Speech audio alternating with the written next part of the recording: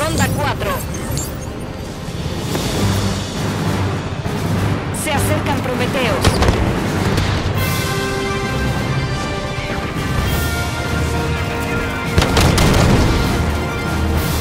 Varios Peyton en el aire.